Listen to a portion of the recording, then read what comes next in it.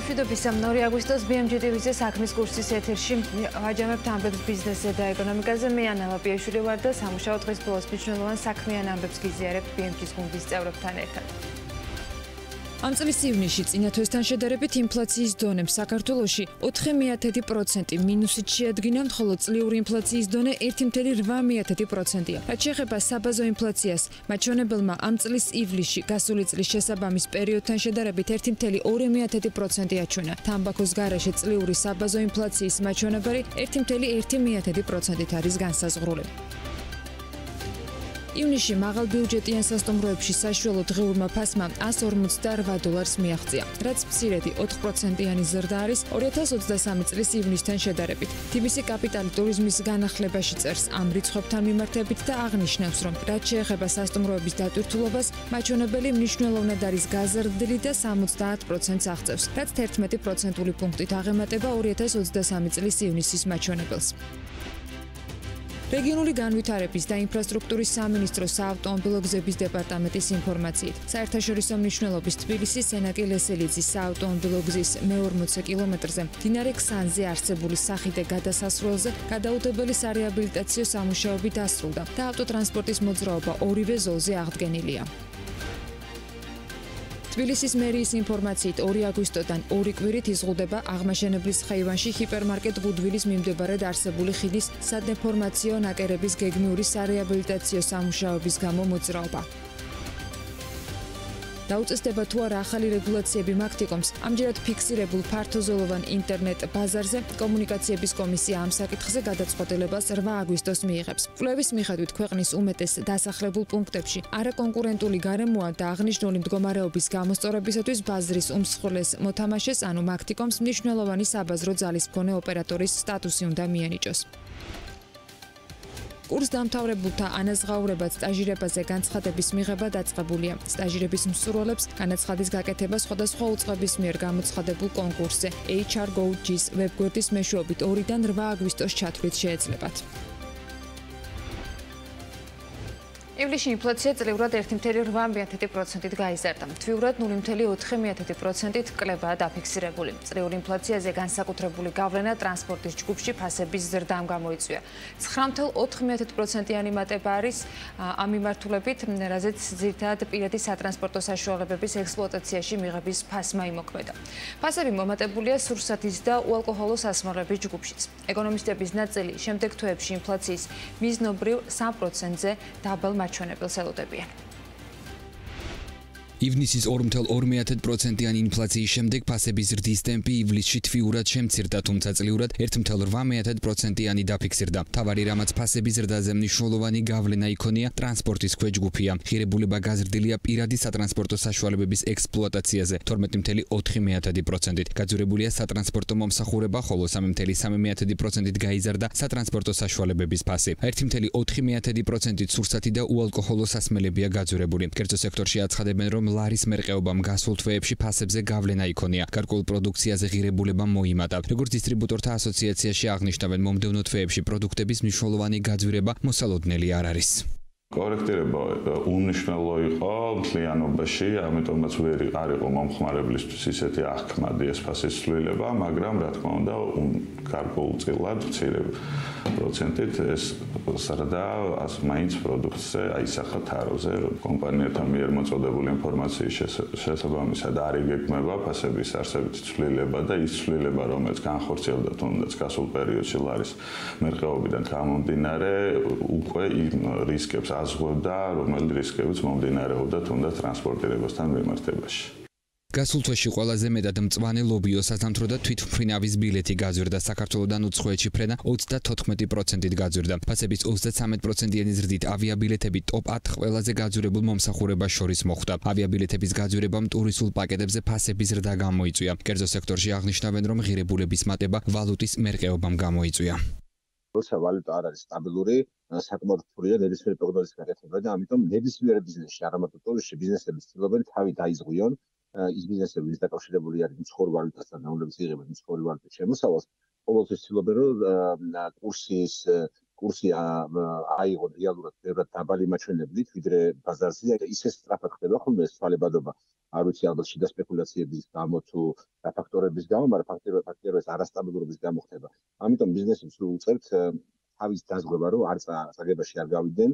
მიუხედავად იმისა, რომ ინფლაცია 3.3%-ზე დაბლა ნარჩუნდება ეროვნული ბანკის შეფასებით, მასზე მოქმედი ნეგატიური ფაქტორები გაზრდილია. ცები აღნიშნავს, რომ ინფლაციის მიზნობრივი მაჩვენებლის ფარგლებში შენარჩუნებას ადგილობრივად წარმოებული საქონლისა და მომსახურების ინფლაციის სტაბილური დონე განაპირობებს, თუმცა გარე ფაქტორები რისკად მაინც რჩება. სებიელის რომ წელს ინფლაცია 1.9%-ი იქნება. გლობალური ეკონომიკური გაურკვევლობა, რამაც შესაძლებელია ინფლაციური წნეხი წარმოქმნას, კლავაც მაღალია. ბოლო პერიოდში საერთაშორისო ბაზრებზე ნავთობისა და სურსათის ფასების მერყეობა და ასევე ჩინეთიდან ტრანსპორტირების ღირებულების ზრდის ტენდენცია აშკარად შეიმჩნევა. რაც იმპორტირებულ საქონელზე ინფლაციის ზრდის რისკს ქმნის. ეკონომისტების ნაწილი ფასების ზრდის დონეს მიზნობრივზე დაბლა ელის, თუმცა მომავალი წლიდან ისინი ინფლაციის დონის ზრდას არ გამორიცხავენ. ინფლაციის მიზნობრივი მაჩვენებელი ახლა 3%-ია.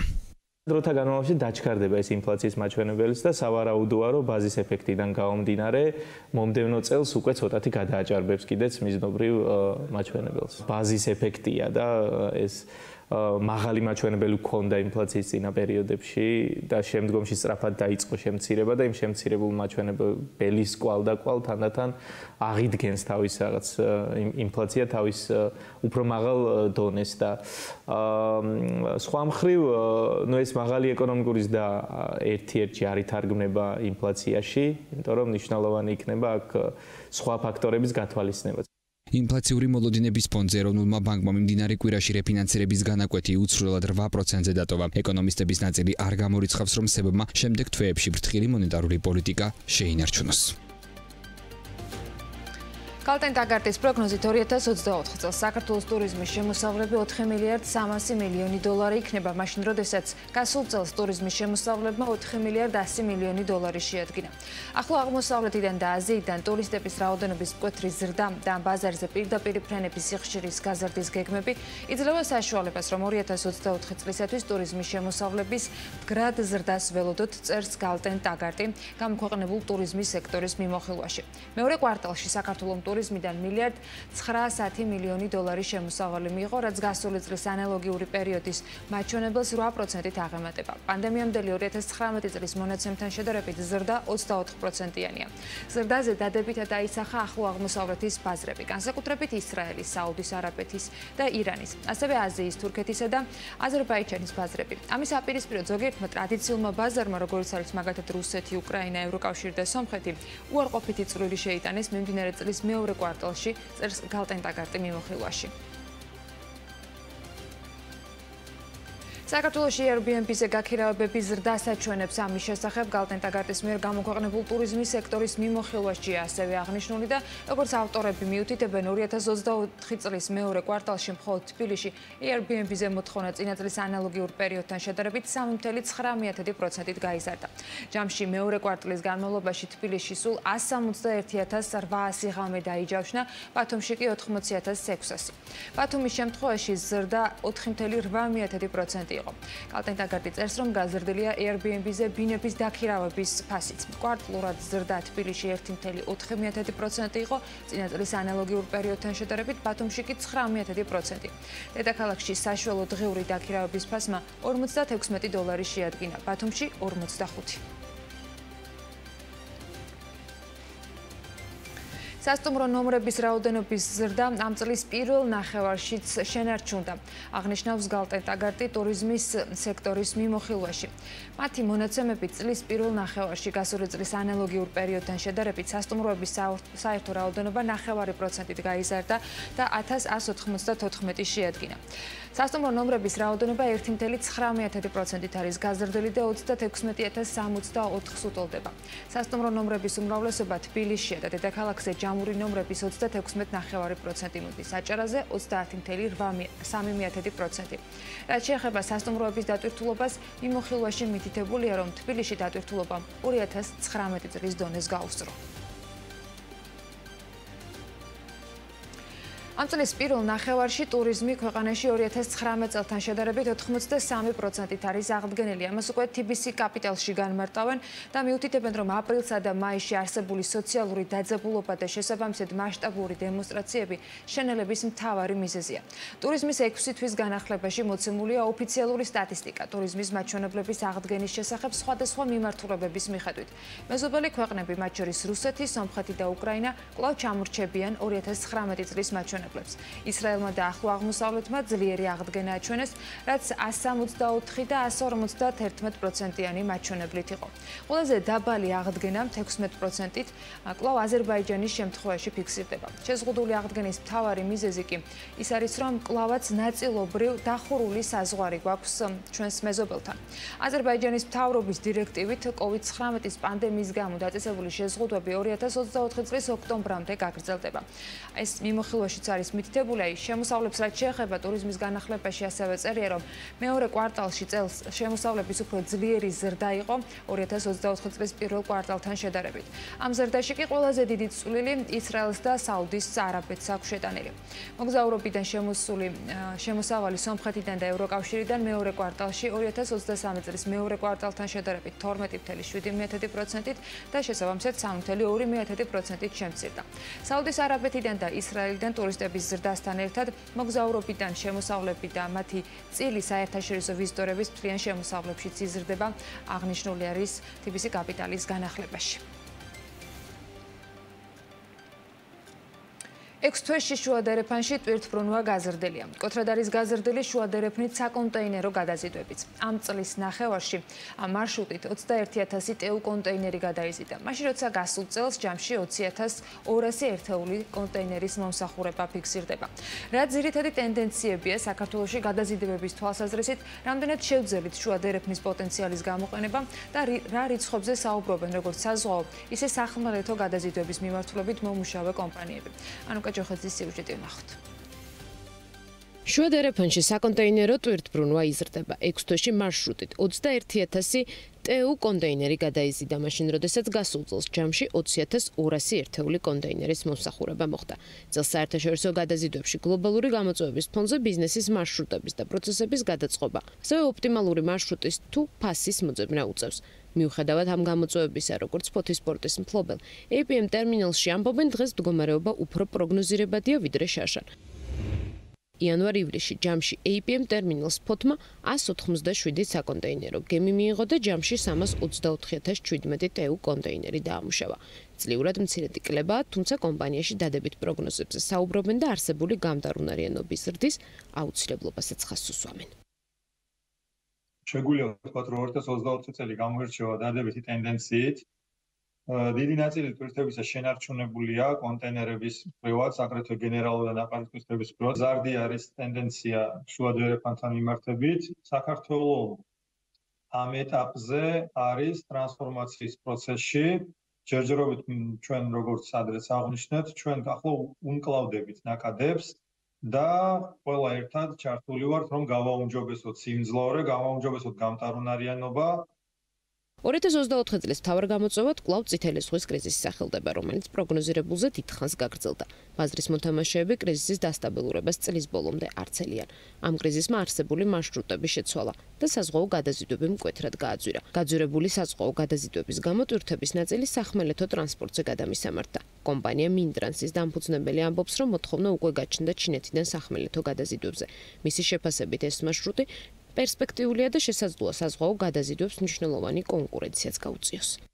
საკმაოდ ბევრმა მანქანამ დაიწყო უკვე სიარული, სწორედ აი ამ მიმართულებაზე, თუნდაც ქართველმა და აზერბაიჯანელმა კომპანიებიდან და შეიძლება ამა გამოიწვიოს ნამდვილად ტარიფის ცვლილება შედარებით თუმცა ეს რაღაც გრანდიოზული სხვაობა რომ უფრო ძალიან დაბალი ფასები იყოს გამორიცხულია.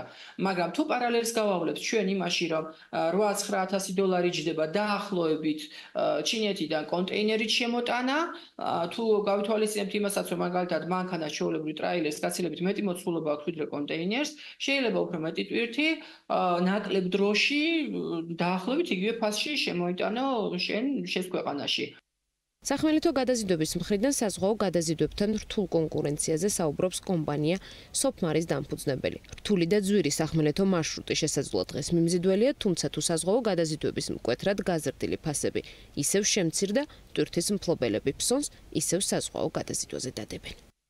დღეს ფასი არის თითქმის 50% მეტი, რაც იყო შარშან წლის ბოლოს. ამანაც გამოიწვია კონტეინერების რაოდენობის ვარმა. ლებულობს ღირებულება, თქვა, იყო 8500 დოლარი, ეს არის 40-იანი კონტეინერის ფასი 7000 დოლარი. თუ ეს ტენდენცია გაგრძელდა და მე ვფიქრობ, გაგრძელდება, ამიტომ აი ეს მოხსენს ზრდას. თქმა უნდა, საზღვაო გადაზიდვების ზრდას მოხსენს აუცილებლად. აა რო აი დიდი თანხა იქნება განსხვავება დაახლოებით 2000 დოლარამდე თუ იქნება განსხვავება, უკვე ჩვენი პარტნიორები, ჩვენი კლიენტები გეუბნებიან რომ გადავლენ ისევ საზღვაო საზღვაო გაზს გამოიყენებენ ვიდრე სახმელეთო საერთაშორისო ბაზარზე არსებული ტენდენციების ფონზე ტრანსკასპიური საერთაშორისო სატრანსპორტო მარშრუტით, ანუ ეგრეთ წოდებული შუადერეფნით 6 თვეში 1.647.000 ტონა ტვირთი გადაიზიდა. ეს წლიურად 27%-ით გაზრდილი მაჩვენებელია. მარშრუტის მონაწილე ქვეყნები იმედოვნებენ, რომ მხოლოდ ამ მარშრუტით წელს მინიმუმ 4.200.000 ტონა ტვირთის გადაზიდვა მოხდება. გამჭრელობა საქართველოს ინფორმაციით პარტია ქართულმა ოცნება მიმდინარე წლის მეორე კვარტალში მილიონ ლარამდე შემოწირულობა მიიღო. მიღებული შემოწირულობების რაოდენობით ოცნება კვლავ პირველ ადგილზეა. საქართველოს, თურქეთის, იტალიის, საბერძნეთის, ბულგარეთის, რუმინეთის, უნგრეთის და სერბეთის შემდეგ სლოვენია მეცხრე ქვეყანა გახდა, რომელსაც აზერბაიჯანი ბუნებრივ გაზს აწვდის. აზერბაიჯანის სახელმწიფო ნავთობკომპანია სოკარი ხუთშაბათიდან 1 აგვისტოდან ბუნებრივი გაზის მიწოდებას იწყებს სლოვენიისათვის. ეს კომპანიის პრესსამსახურის მიერ გავრცელებულ ინფორმაციაში ამეთითებული. ვიზიარი ქუთაისიდან ვროცლავის მიმართულებით 30 ოქტომბრიდან პირდაპირ ფრენებს განაახლებს. უნგრული დაბლბიუჯეტური ავიაკომპანია იტყობინება, რომ ქუთაისიდან პოლონეთში ფრენა 4 მიმართულებით იქნება შესაძლებელი: ვროცლავი, კატოვიცე, ვარშავა და პოზნანი. უცხო ქვეყნის მოქალაქეს დაზღვევის პოლიციის შეძენა მთელი საქართველოს მასშტაბით იუსტიციის სახლის 121 ფილიალში და მობილურ იუსტიციის სახლებში შეუძლია. იუსტიციის სახლის ინფორმაციით ახალი სერვისის დანერგვა აუქციონის წესით შერჩეულ სადაზღვეო კომპანია იმედიელის და იუსტიციის სახლის პარტნიორობის ფარგლებში განხორციელდა. შემოსავლების სამსახური 208 ვაკანსიაზე სტაჟირების კონკურსს აცხადებს. შემოსავლების სამსახურის ინფორმაციით, სტაჟირების ხანგრძლივობა 4 თვეს შეადგენს და სწავლება სექტემბრიდან დაიწყება. ეგრეთ წოდებულ ლამინირებულ პირადობის მოწმობებს იურიდიული ძალა დაეკარგა. იმისთვის, რომ მოქალაქეებმა სერვისებით სარგებლობა უპირობოდ შეძლონ, არ შეექმნათ დაბრკოლება პენსიის თუ სხვა სოციალური გასაცემლის მიღებისას, აუცილებელია მიმართონ იუსტიციის სახლის ფილიალებს, მობილური იუსტიციის სახლებს და სახელმწიფო სერვისების განვითარების სააგენტოს ტერიტორიულ სამსახურებს, სადაც უფასოდ შეძლებენ პირადობის მოწმობის შეცვლას. დინარი ქსანზე არსებული ხიდის გადასასვლელის რეაბილიტაცია დასრულდა და მოძრაობა ორივე ზოლზე აღდგენილია. საავტომობილო გზების დეპარტამენტის ინფორმაციით, საერთაშორისო მნიშვნელობის თბილისის სენაკილესელიძის საავტომობილო გზის მე-40 კილომეტრზე არსებული ხიდის სავალ ნაწილზე დაზიანებული იყო ბეტონის დამცავი ფენა, რაც საფრთხეს უქმნიდა ავტოტრანსპორტის უსაფრთხო გადაადგილებას. სარეაბილიტაციო სამუშაოების გამო ავტოტრანსპორტი ხიდის მხოლოდ ერთ სამოძრაო ზოლში მოძრაობდა. უწყება აღნიშნავს, რომ სარეაბილიტაციო სამუშაოები ახლა ორივე სამოძრაო ზოლზეა ჩატარებული. გადაუდებელი აუცილებლობიდან გამომდინარე საჭირო გახდა ხიდის რეაბილიტაციო სამუშაოების განხორციელება. ხუთი მნის გამოვაცხადეთ, რომ ორი თვის ვადაში აღნიშნულ მონაკვეთზე შეზღუდული იქნებოდა ეტაპობრივად ცალი ზოლზე მოძრაობა. დღეს გომარეობით აღნიშნულ მონაკვეთზე დასრულებულია სავალნაწილზე მუშაობა. ორმხრივად გახსნილია მოძრაობა. დარჩენილია მხოლოდ და მხოლოდ კოსმეტიკური სამუშაოები, რომელიც უახლოეს დღეებში მოძრაობის შეუფერხებლად იქნება შესრულებული. შესაბამისად, უზრუნველყოფილი იქნება ავტოტრანსპორტის შეუფერხებელი და კომფორტული გადაადგილების პირობები. აღვაშენებლის ხეივანში ჰიპერმარკეტ გუდვილის მიმდებარედ არსებული ხიდის სადეფორმაციო ნაკერების გეგმიური სარეაბილიტაციო სამუშაოების მიმდინარეობის გათვალისწინებით კი თბილისის მერია აღნიშნავს, რომ დღეიდან ორი კვირის განმავლობაში ხიდზე საავტომობილო მოძრაობა ნაწილობრივ იქნება შეზღუდული. შესაბამისად, ამ მიმართულებით გადაადგილებისას ძღოლებს მიმართავს, რომ გაითვალისწინონ ეს ფაქტი და თბილისის მერია ბოდიშის მოხდის წერილსაც აღწელებს.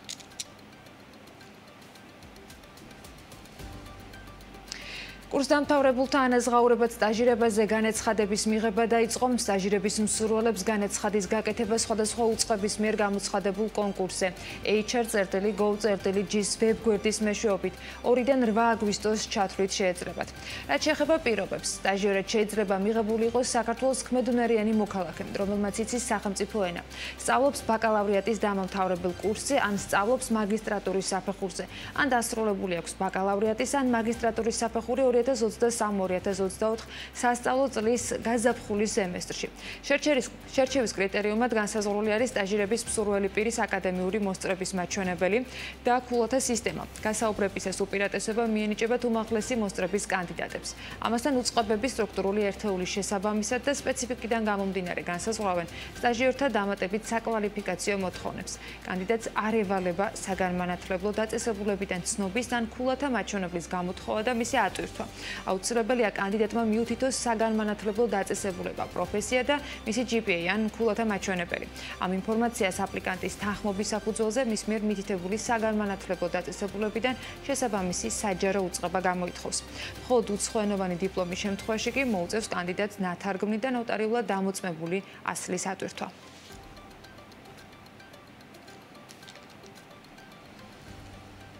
მობილური მომსახურების შემდეგ მაგთის სავარაუდოდ ფიქსირებული ინტერნეტის ბაზარზეც დომინირებული საბაზრო მოთამაშის სტატუსი მიენიჭება. ამ საკითხზე კომუნიკაციების კომისია გადაწყვეტილების მიღებას ორდღიანი მსჯელობის შემდეგ 8 აგვისტოს გეკმავს. კომუნიკაციების კომისია მობილურ ბაზარზე მაგთი დომინირებულ მოთამაშედ 25 ივლისს გამოავლინა, რის შემდეგაც კომპანიას რამდენიმე ახალი რეგულაცია დაუწესდება, მათ შორის მობილური ვირტუალური ოპერატორების MVNO-ს დაშვების ვალდებულება, ასევე შიდა როუმინგის და ინფრასტრუქტურის გაზიარების ვალდებულება.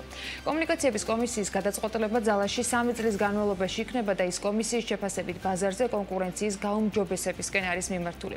იმ შემთხვევაში თუ მაგთი ფიქსირებული ინტერნეტის ბაზარზეც გამოცხადდება დომინირებულ მოთამაშედ, მაშინ მას საკუთარ ინფრასტრუქტურაზე დაშვების ვალდებულებები გაუჩნდება.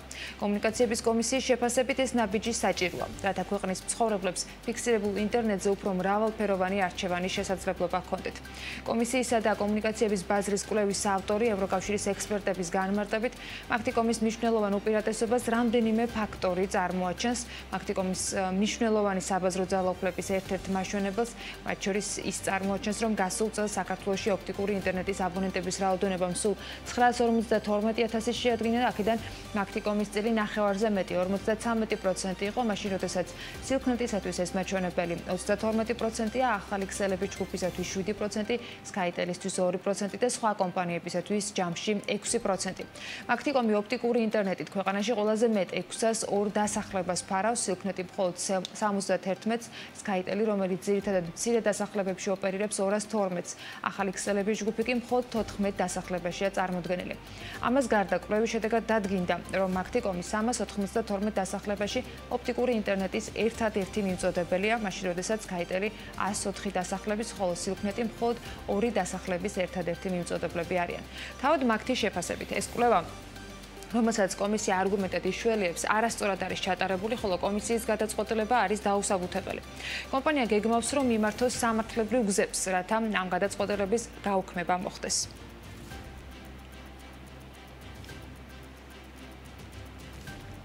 პირველი მაისიდან 2024 წლის 31 ივლისის ჩათვლით საქართველოსდან 15600 ტონა ატმის და ვაშლატამას ექსპორტია განხორციელებული, მის მაღირებულებამ 18 მილიონი დოლარი შეადგინა.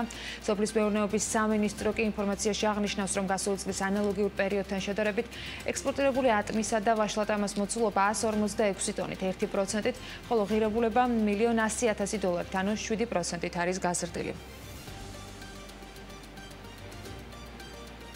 სახელმწიფო აგროდაზღვევის პროგრამის ამოქმედებიდან 10 წელი გავიდა. ბოლო პერიოდის სტიქიურმა მოვლენებმა კიდევ ერთხელ გამოაჩინა დაზღვევის მნიშვნელობა, თუმცა ფაქტია, იმ ფერმერთა რიცხვი, რომლებიც საკუთარ ერთწლიან თუ მრავალწლიან კულტურებს სახელმწიფო პროგრამით აზღვევენ, ცირე ტემპით იზრდება და რეგიონების მიხედვით პენეტრაციაც საკმაოდ დაბალია.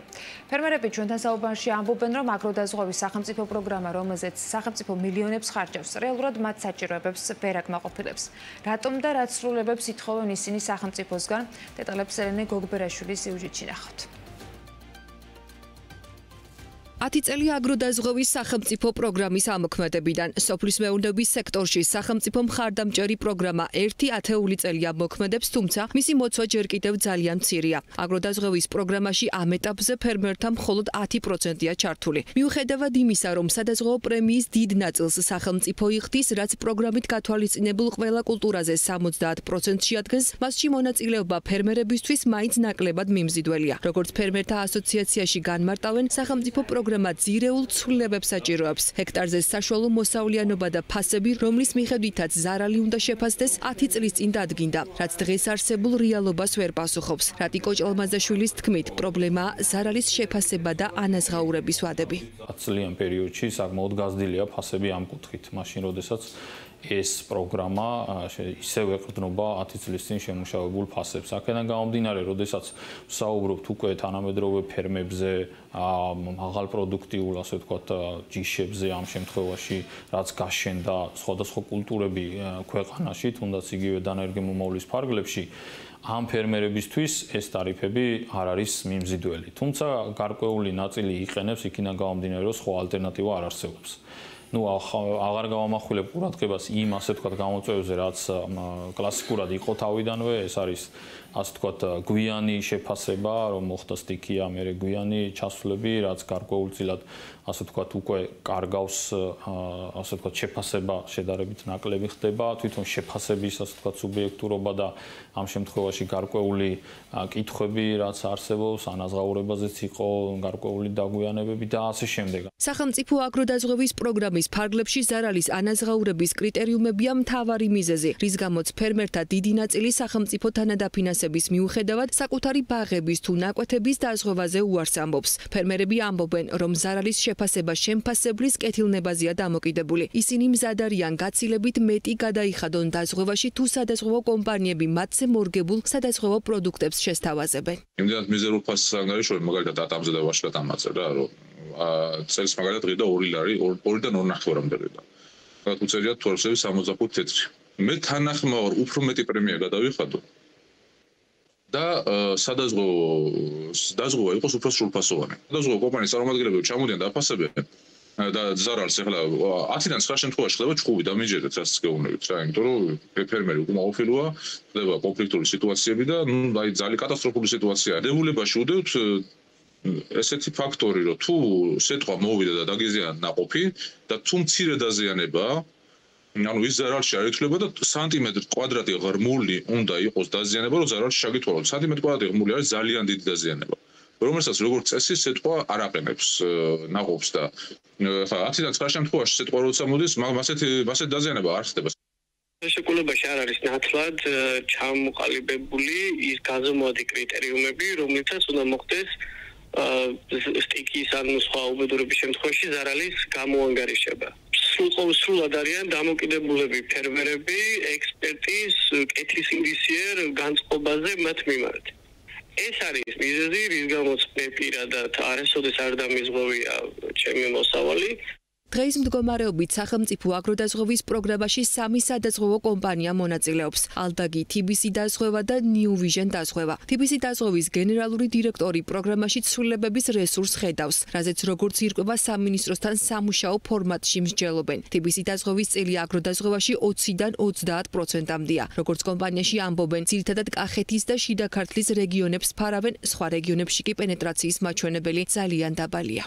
არის შესაძლებლობა რომ კიდევ დაიხვეწოს პროდუქტი, თუმცა იმისათვის რომ უფრო დაბალანსებული და კარგი გამოვიდეს, საჭიროა რომ მოცვა გაიზარდოს და მხოლოდ ერთ ან ორ რეგიონზე არ იყოს გაკეთებული აქცენტი, ვინაიდან ამ შემთხვევაში ეს პირდაპირ პროპორციულად აისახება ფასწარმოქმნაზე და აძვირებს პროდუქტს უნიშნელოვნად. ამიტომ ამ განხილვებში რეგულარულად ვართ სოფლის მეურნეობის სამინისტროსთან ერთად, გავდივართ რა შესაძლებლობები არის და რა მიმართულებით შეიძლება ან ფასის გადახედვა, ან სხვა დაფარვის პირობების გადახედვა.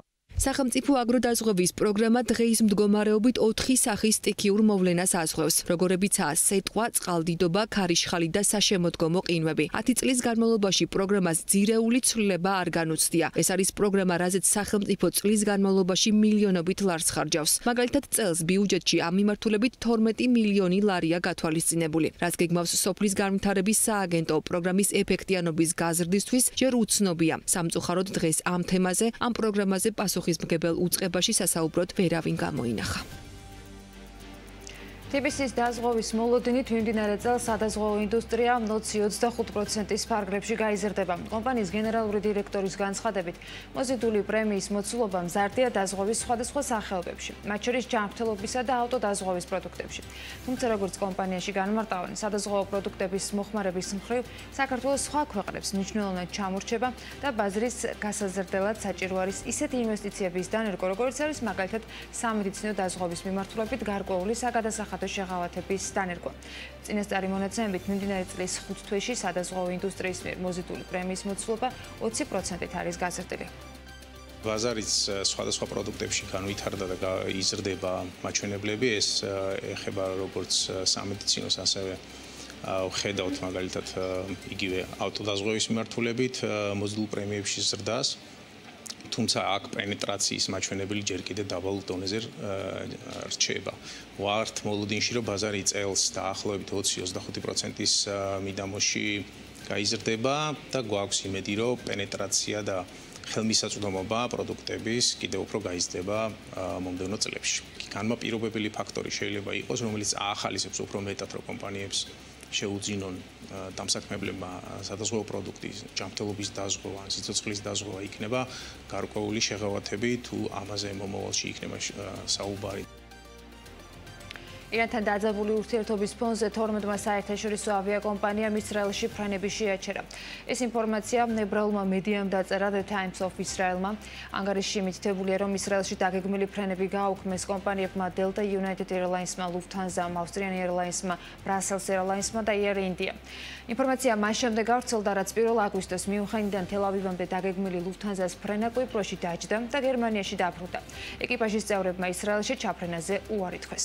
ადგილობრივი მედიის ინფორმაციით, ბენგურიონის აეროპორტში 10000-ობით მგზავრია შეკრებილი, ვინც თელავივიდან მომავალი ბოლო რეისით მგზავრობას ცდილობს იმ შემთხვევაში, თუ კიდევ უფრო მეტი კომპანია გააუქმებს დაგეგმილ ფრენას.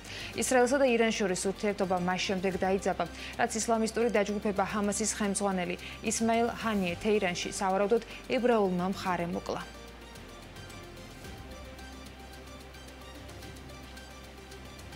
ისრაელი ელექტრონულ სამოგზაურო ავტორიზაციის სისტემას 2025 წლის 1 იანვრიდან ამოქმედებს იმ ქვეყნების მოქალაქეებისათვის, რომელთაც ისრაელში მოგზაურობისათვის ვიზა არ სჭირდებათ. მათ შორის არის საქართველოც და მისი მოქალაქეები, რომელთაც ისრაელში გამგზავრებამდე მოუწევთ შესაბამის სისტემაში ავტორიზაციის გავლა. ეს ინფორმაცია BMG-სთან ისრაელის საკონსულოში დაადასტურეს. ეტა ილის ვალდებულება 1 აგვისტოდან უნდა ამოქმედებულიყო, მანამდე კი 1 ივლისიდან 1 აგვისტომდე საპილოტე რეჟიმში მოქმედებდა. გაიზარდა. ამ პერიოდის განმავლობაში ისრაელის საიმიგრაციო სამსახურმა მიიღო არაერთი მოთხოვნა ამოქმედების თარიღის შეცვლასთან დაკავშირებით.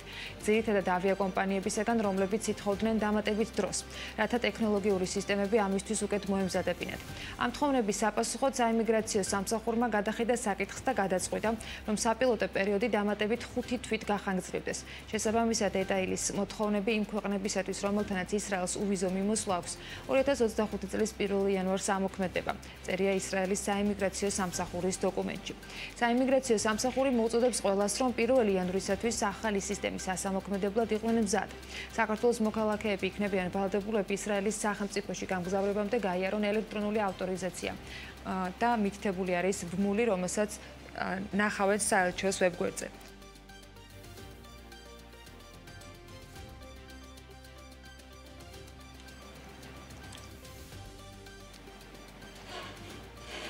ირლანდიის და საქართველოს მოქალაქეებს მართვის მოწმობის გადაცვლა შეუძლიათ. შინაგან საქმეთა სამინისტროს მომსახურების სააგენტოს ინფორმაციით, ურთიერთგაგების მემორანდუმი 2024 წლის 25 ივნისიდან შევიდა ძალაში.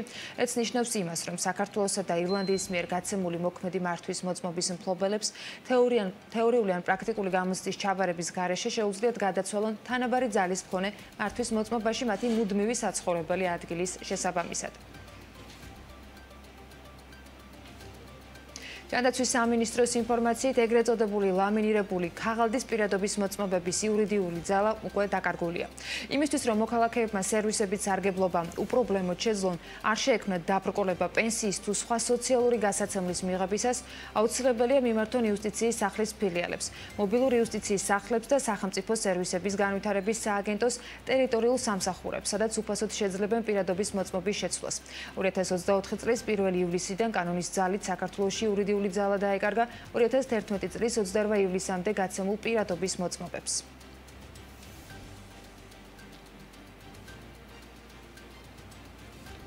თბილისის განვითარების ფონდმა ვარკეთილში მდებარე ავარიული კორპუსის ჩანაცვლებისათვის 10 მილიონ 400 ათას ლარიანი ტენდერი მესამედ გამოაცხადა. სატენდერო პირობების მიხედვით ვარკეთილის მესამე მასივში 4 სართულიანი კორპუსი 10 სართულიანი შენობით ჩანაცვლდება. პროექტის მიხედვით ნაგებობა 1300 კვადრატული მეტრის მიწის ნაკვეთზე განთავსდება და მისი განაშენიანების ფართობი 8000 კვადრატული მეტრი იქნება. ანალოგიური ტენდერი თბილისის განვითარების ფონდმა თავდაპირველად 18 ივნისს გამოაცხადა, თუმცა ის უარყოფითი შედეგი დასრულდა, რადგან სამივლის სატენდერო საპატერო კომპანიამ ერთადერთ პრეტენდენტს შეპესე Seven Hills ტექნიკური დოკუმენტაციის შეუსაბამობის გამო დისკვალიფიკაცია მიანიჭა, რის შემდეგაც ფონდმა იმავე დღეს გამოაცხადა ახალი ტენდერი, რომელშიც მონაწილეობა ისევ Seven Hills-მა მიიღო, რომელსაც დისკვალიფიკაცია განმეორებით მიანიჭეს. შემდეგ უკვე ტენდერი მესამედ გამოცხადა. ახალ ტენდერში კომპანიებს საკუთარი წინადადებების წარდგენა 13-15 აგვისტოს პერიოდში შეეძლებათ.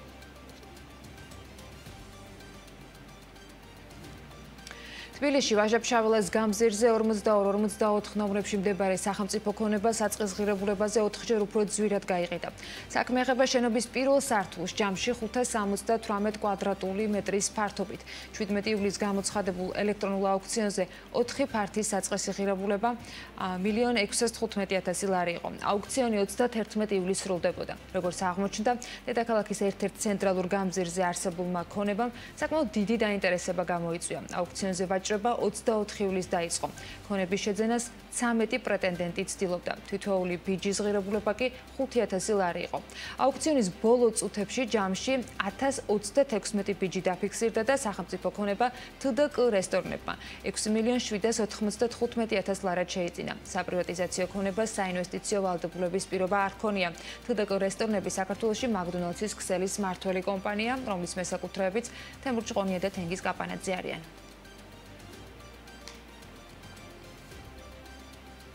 საქართველოს მთავრობამ თბილისში მარვაშვილის ქუჩა 50-ში მდებარე 472 კვადრატული მეტრის მიწის ფართობი საქართველოს 60 ქულ ავტოკეფალიურ მართლმადიდებლურ ეკლესიას პირდაპირ მიყიდვის ფორმით ერთლარად გადასცა. ირაკლი კობახიძის მიერ ხელმოწერილ განკარგულებაში ამასთან დაკავშირებით ნათქვამი, რომელიც 31 ივლისით თარიღდება.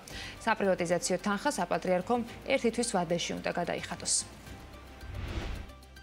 თვითფრინავების უმსხვილესი მწარმოებელი ამერიკული კომპანია Boeing 2053 წლისათვის თვითფრინავებში სამგზავრო ადგილების საშუალო რაოდენობას 190-მდე გაზრდის. თურქეთის საინფორმაციო ტექნოლოგიებისა და კომუნიკაციების მარეგულირებელი უწყების ინფორმაციით, ქვეყანაში სოციალური ქსელი Instagram-ი დაიბლოკა.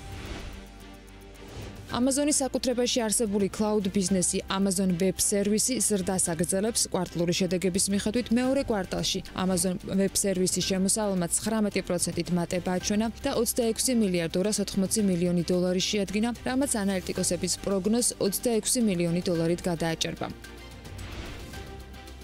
იაპონურმა ტექნოლოგიურმა გიგანტმა Nintendo-მ ფისკალური 2024 წლის პირველი კვარტლის ფინანსური ანგარიშგება გამოაქვეყნა, რომლის მიხედვითაც კომპანიის სათამაშო კონსოლის Nintendo Switch-ის გაყიდვების 46%-იანი კლების ფონზე კომპანიის შემოსავალი წლიურად 46.5%-ით შემცირდა და მილიარდ 650 მილიონი დოლარი შეადგინა, მაშინ როცა ანალიტიკოსები მილიარდ 940 მილიონ დოლარს პროგნოზირებდნენ.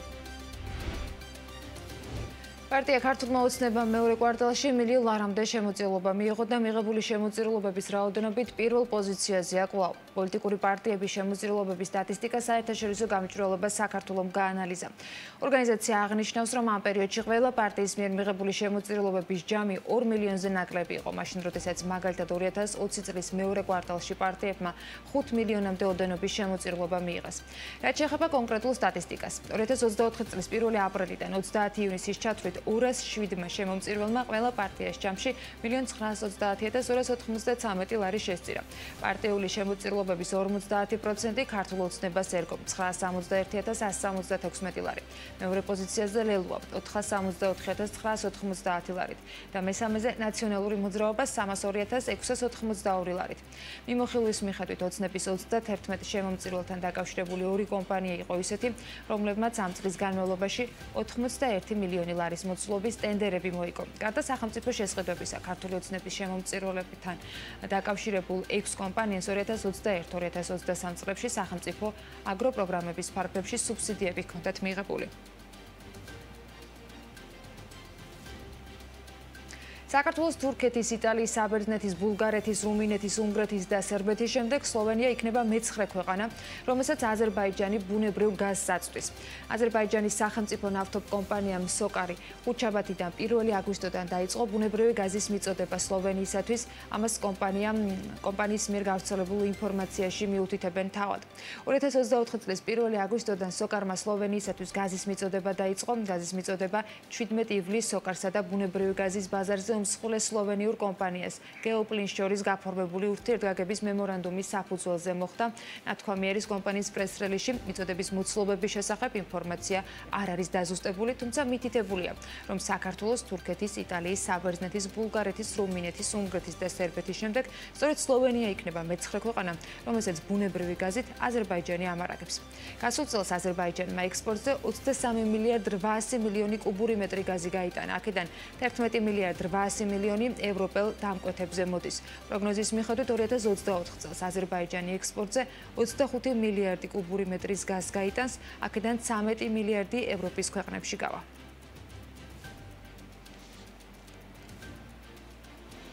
საერთაშორისო სარეიტინგო სააგენტო S&P Global Ratings-მა აზერბაიჯანის ეკონომიკური ზრდის პროგნოზი განაახლა. სააგენტოს ანგარიში ნათქვამია, რომ აზერბაიჯანის ეკონომიკური ზრდის პერსპექტივები 2024-2025 წლებში უფრო დაბალია, ვიდრე რეგიონის უმეტეს ქვეყნებში. S&P-ს ანალიტიკოსებმა აღნიშნეს, რომ ეკონომიკურ ზრდაზე ზეწოლა ძირითადად ნავთობის მოპოვების გრძელვადიანი თანდათანობითი კლებით არის განპირობებული. ჩვენ ვარაუდობთ, რომ რეალური მთლიანი შიდა პროდუქტის ზრდა იქნება დაახლოებით 1.5% 2024-2025 წლებში ნათქვამია მათ ანგარიში. ამ წლის ივნისში S&P-მ განაცხადა, რომ აზერბაიჯანის რეალური მთლიანი შიდა პროდუქტის ზრდის პროგნოზი 1.5-დან 2.5%-მდე გაზარდა. იაპონიის პრემიერ-მინისტრი უზბეკეთის, ყაზახეთის, ყირგიზეთის, ტაჯიკეთისა და თურქმენეთის ლიდერებთან შეხვედრაზე გეგმავს გამოაცხადოს ეკონომიკური დახმარების პაკეტი ცენტრალური აზიისათვის, რომლის მიზანიც ევროპისკენ ახალი სავაჭრო გზის შექმნა.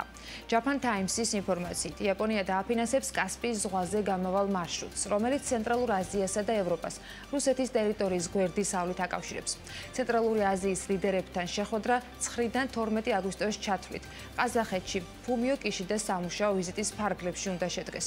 30 ივლისს ევროპისა და აზიის საკითხებში შტატების სახელმწიფო მდივნის თანაშემწე ჯეიმს ობრაიერმა სენატის საგარეო ურთიერთობათა კომიტეტზე თქვა, რომ თეთრი სახლი განიხილავს შესაძლებლობას ცენტრალური აზიის ქვეყნებიდან სოფლიო ბაზრებზე ტვირთის მისაწოდებლად ახალი სახმელეთო სამარშრუტო ქსელის შესაქმნელად, რომელიც რუსეთსა და ჩინეთს გვერდსაულის. ის ამბობს, რომ მიწოდების ერთ-ერთი ყველაზე მომგებიანი არხი სომხეთის და აზერბაიჯანის ტერიტორიაზე გამავალი მარშრუტი იქნება.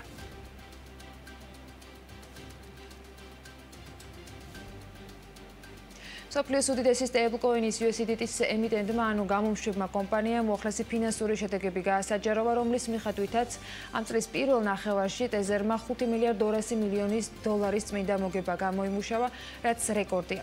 კომპანიის აუდიტირებული ფინანსური ანგარიშის მიხედვით წმინდა ამონაგების ზრდის დიდი ნაწილი ტეზერის საკუთრებაში არსებულ შტატების სახაზინო ობლიგაციებზე მოდის, ხოლო დარჩენილი ნაწილი კომპანიის საკუთრებაში არსებული ბიტკოინის და ოქროს გაძვირებას უკავშირდება. წმინდა მოგების ზრდასთან დალასთან ერთად ისტორიულ მაქსიმუმამდეა გაზრდილი ტეზერის სტეიბლკოინის USDT-ის საბაზრო კაპიტალიზაცია, რომელიც ამ დროისათვის 114 მილიარდ დოლარს აღემატება.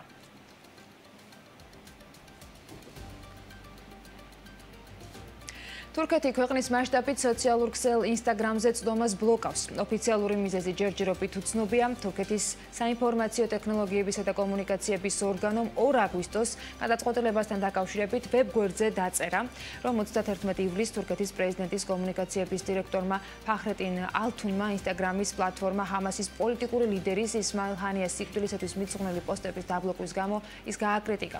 ეს ცენზურაა წმინდა და მარტივად დაწერა თავის X-ზე ალტუნმა და დაამატა დამატა, რომ Instagram-ს ესქმედება რაიმე დარღვევით არ დაუსაბუთებია.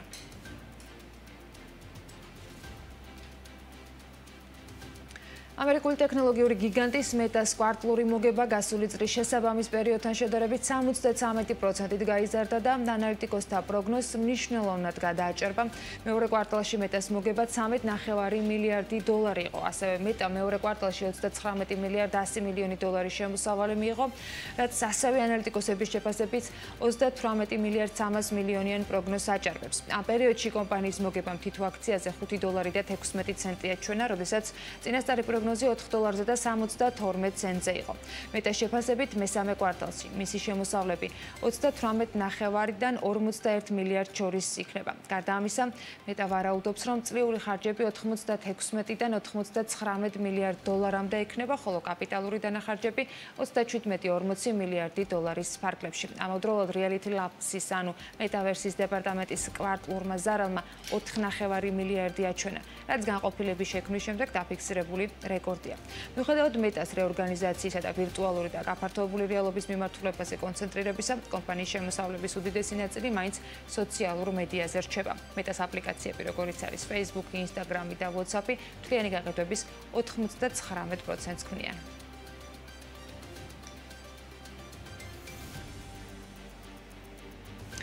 ასე იყო საქმის კურსის გამოშვება ამ დროისათვის და ამ სეზონზე მე გემშვიდობებით სექტემბრამდე, თუმცა საქმის კურსის ეთერები BMG TV-ს მაყურებლებისათვის საოცრად გაგრძელდება.